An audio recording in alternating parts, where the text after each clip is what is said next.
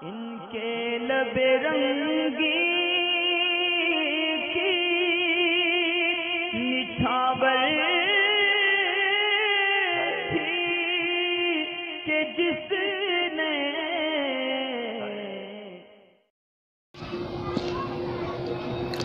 वालेकुम अस्सलाम ग़ुलाम हुसैन है। वितर के ताल्लुक़ से सवाल है और एक दो सवाल वितर के ताल्लुक़ से और भी हैं। मजमू बयान करता हूँ मैं।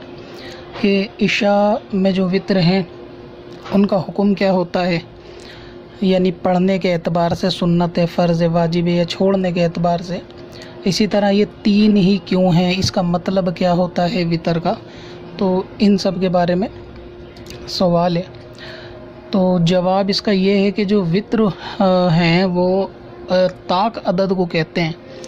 ताक, ये लुगवी माने इसके ताक अदद मतलब जो नूमेरिकल्स होते हैं ऑड एवन जिसको हिंदी में आप सम विषम बोलते हैं ना, उसको कहते हैं। तो इसमें जो ऑड होता है ना, यानी विषम संख्या, उसको कहते हैं जैसे एक, तीन, पाँच, जिसको ताक नंबर बोलते हैं। तो वितर इसीलिए इसको बोलते हैं कि वितर का मतलब भी ताक होता है, यानी विषम नंबर, सम विषम, यानी जो दो से विभाजित ना किया जा सके शायद। हिंदी में इस तरह इसकी डेफिनेशन होती है तो इसीलिए इसको जो है ना वितर कहते हैं। और ये शरीयत मुताहरा में ईशा की नमाज़ के फ़र्ज़ के बाद और सुबह सादिक से पहले जो है इसका वक्त है। और इसका हुक्म अहनाफ के वहाँ ये वाजिब है, यानी इसका पढ़ना।